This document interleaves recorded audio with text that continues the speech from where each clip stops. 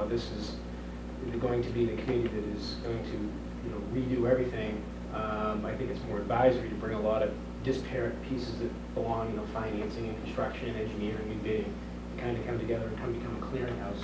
Um, So I think that to try to lend a little uh, information as to what that advisory committee is. Um, They've met once for two hours, and I think it was in September, and they have to schedule a meeting. Um, So I think that put a lot of emphasis on the committee, and somehow this is going to be, you know, a super committee that's going to run everything is um, inaccurate. Some comparisons were drawn between what's taking place in Reading and and North Reading. How comparable are these? uh, Um, I think in Reading High School, um, and I'm not a a history, but it seems to me it's a much newer building than the Batchelder School. It's probably the newest piece of the Batchelder School is probably uh, older than the newest part of the, or the oldest part of the um, high school. Um, I don't think that they have uh, as much of a serious space problem within the high school in Reading as it is a qualitative and maybe a space layout problem. Um, I also think that um, in terms of the site issues, uh, there is a little more flexibility on the site, um, space-wise, the Batchelder School. So, Additionally, they're talking about also building another elementary school. yeah, they, they have, Is it uh, their application on- approved, yeah, it's uh, on uh, Dividence Road, Sun Rock uh, Lane, um, and going through a bit of an issue. One of the things they're running into um, is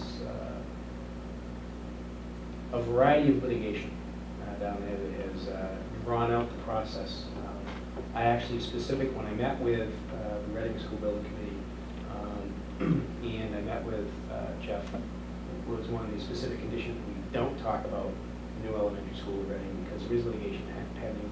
Uh, And virtually everybody, uh, with the fortunate exception of myself, has been deposed uh, about who said what, when, and why, and how. Uh, Superintendent. Yeah, I just wanted to point out, you know, some analogies are being drawn in relation to the situation that we're in, the situation they're in, the levels of reimbursement, and what's happening down there, and how wonderful it is, and this is terrific there, and why, why can't we benefit the same way? And again, to, to me, it was, well, being maybe a little better informed than some of the other people, uh, it, it seems to be uh, two totally different situations, and uh, we really can't, it's, it's apples to oranges. Right, and I mean, the base, the base rate, actually, uh, you know, Reading, uh, our affluence, uh, despite historical rivalries, I think, between Reading and Reading, our affluence has surpassed their level of affluence.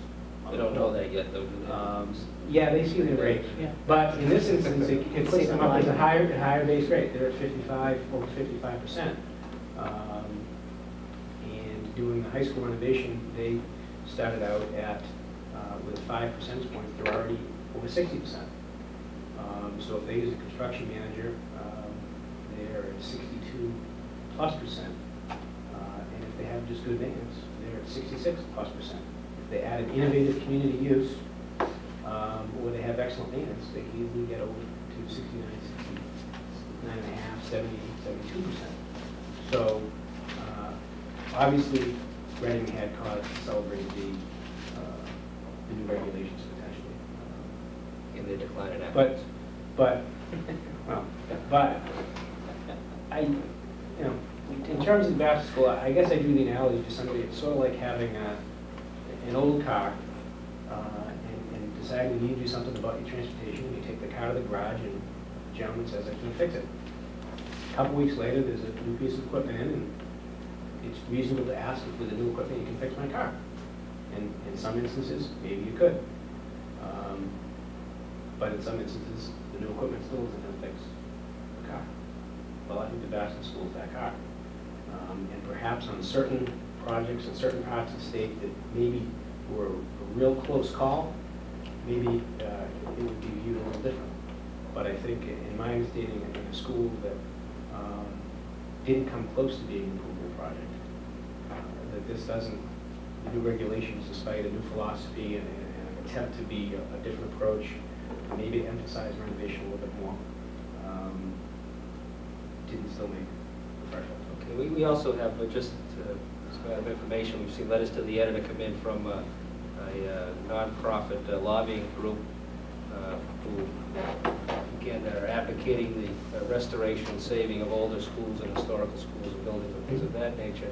And I actually met with them last year when this whole thing first came up.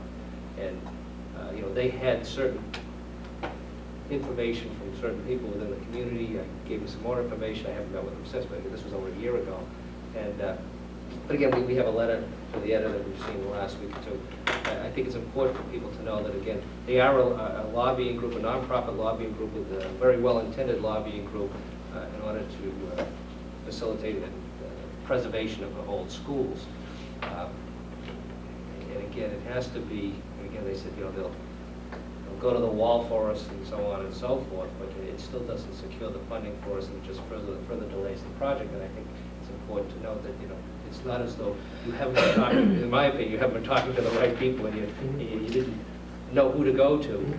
And uh, I just think it's important to point out that, again, while they're well-intended, and again, they're looking for allies, um, that at some point they have to recognize there are just certain projects the state is not going to spend their good hard-earned dollars, our good hard-earned tax dollars on something which isn't economically feasible when we have a more viable alternative which is going to be more effective to meet the educational needs of our community. I think it comes down to everybody trying to be well-intentioned, but where you put the emphasis.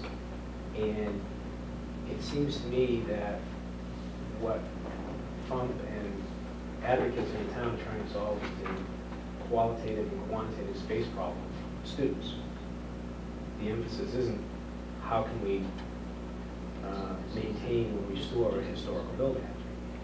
And I think for other advocates, it's how can we maintain and renovate a historical building with new great use of being still as an elementary school. Right, that's the thing, that that has not been done in a vacuum here. FUMP has Right. taken that as, as a, uh, as a primary concern and goal of ours, is to retain, after we've evaluated the cost and the, you know, whether, we even looked at, you know, selling it, leasing it out, uh, doing a congregate housing and, and uh, affordable Right. housing, all the rest, of it It just wasn't economically feasible, but again, the, the consensus was the need to retain that in- in And I think municipal FUMP's long-term plan is it would be kept as a town building, um, and probably be restored in some form or fashion to its historical uh, way. And the purpose, the purpose in a lot of the national, the National Trust, for example, being the national organization, and I'm assuming the Massachusetts-based one, is to save the building.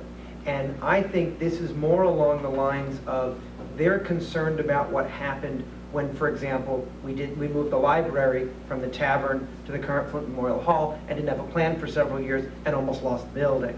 And I think that's part of what got us in trouble in previous plans for a school.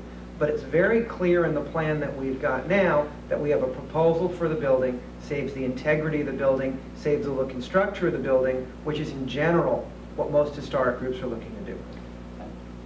Another, another issue with, with uh, Historic Massachusetts and some, in the letter that was in the transcript and, and some of the previous writings, um, address school buildings, historic buildings, older buildings in Chelsea, Fairhaven, um, I forget what some of the, Salem. Salem, Milford, Worcester.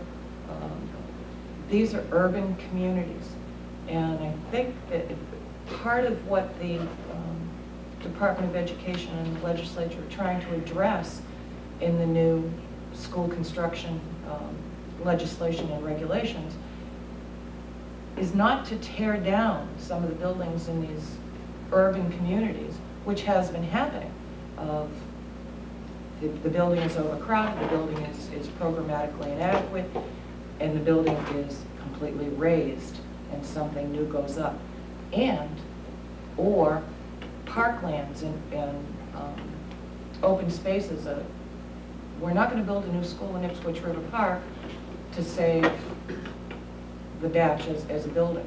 But in these urban communities, um, that's what has, has happened in the past. And some of these buildings should be saved. Um, And monies may be better spent, but that is just not the case in North Reading. It is not the case with the batch. There is no intent to raise the building, demolish it, or otherwise destroy a historic building. Um, But our educational needs cannot be met in that site. one of the things that uh, I think we need to address, and Brad, if you have a few minutes to stick around with us, I'd appreciate it. 'cause, uh, This is the last event, so This is the last of it. No, I, I think, you know, again, one of the other key issues, uh, again, in every- in everybody's mind is, you know, what is this gonna cost us? You know, what, what's the, the tax implications of, you know, if I have a home that's assessed for two hundred or three hundred thousand dollars, you know, what's the impact of my vote, you know, come this November, and on the overall plan? We have, uh, you know, Mark Sturman from the Finance Committee, you know, in conjunction with that, after he completes that, if you could just talk, and touch on the, uh, the circuit breaker Mhm. bill, because, you know, I, I think, you know, there- there's been some information disseminated, you know, from the, uh, uh, group of uh, individuals out there who, who are not in favor of this particular proposal, uh, which I found particularly alarming because it really does uh, raise the fear unnecessarily of a lot of uh, senior citizens on fixed incomes as to what the exact effect of this is going to be. But I think the circuit breaker bill, again, is something which is- assists people in addressing those personal concerns that they may have. But uh, before we address that, if you could just talk about, uh, Mark, what the, the impact this is going to be. Sure. Thanks. Uh, Again, this, this is a $17 million piece of an overall $45 million program um, to address the needs over the next 30 years, with construction spanning from 2000 to 2007, um, with the project's beginning. So, but to focus on the $17 million issue that we'll be voting on uh, this November. Uh, Swan Pond School, uh, which would be financed over 25 years, 2002 out through 2006. Um, Starts out at a rate, a tax rate impact of 20 cents per $1,000 of valuation. For, uh, to a $200,000 home, that's $39.90 per year, $33.33 a month. A $300,000 home, that would be upwards of $60 a year, $5 a month. The peak year during that cycle is 2006 with a tax rate impact of 60 cents per thousand evaluations. So that would mean to a $200,000 value home, $119.70 per year, or a little bit less than $10 per month. To a $300,000 home, that's $180 per year, $14.96 a month. And that's at the peak. That's at the peak the year peak. of And then it starts to 2006. plateau and drop off. We plat, we, we drop off from 2007 to 2023, from 49 cents to 2 cents per thousand. The last three years, 2023 to 2026, are actually credit years because we're getting the tapered off effects of the reimbursement. But that also doesn't address the fact that certain other projects during that time are coming off. Right. So while there is a new That's cost, just there's some this- offset. This is just the school. It's just the school, I'll address those issues in, in a, s- in a second. Um, so, so that's the school. The police station, again, is a twenty-year project, two thousand two, two thousand and twenty-one. Starts out at its peak because there is no reimbursement. Therefore, our peak is forty-five cents per thousand, or eighty-nine dollars and seventy-five cents on a two hundred thousand dollars home per year. That's seven dollars and fifty cents per month. Three hundred thousand dollar home, you're looking at hundred and thirty-four dollars sixty-three cents per year, eleven dollars twenty-two cents a month, thirty-seven cents a day. We're talking for that. That's at its peak year. Two thousand and six, which is the peak year for the school, this is still being funded, we have a forty cent impact on the tax rate or seventy-nine dollar ninety-six cents impact per year to a two hundred thousand dollar home. Uh, Three hundred thousand dollar home would be hundred and twenty dollars a year, ten dollars a month for the school. The other part that we'll be voting on now are the plants. The overall cost of $450,000. This is only going to be financed for five years. Starts in 2001, starts out at 10 cents on the tax rate. $19 per year on fifty-eight a month to a $200,000 home. $300,000 home is $28.52 a year. In its last year, 2005, we're at 8 cents, so it goes from 2 10 cents to 8 cents. You're looking at a $200,000 assessed value home of $15.50, a $300,000 home at $23.25. In that year, 2005, the overall impact of this particular proposal that we're voting on, the 17 million, is a dollar nine on your tax rate, dollar nine per thousand. For a $200,000 home, you're looking at an additional increase of two hundred and seventeen dollars and sixty-one cents a year, eighteen dollars thirteen cents a month, sixty cents a day.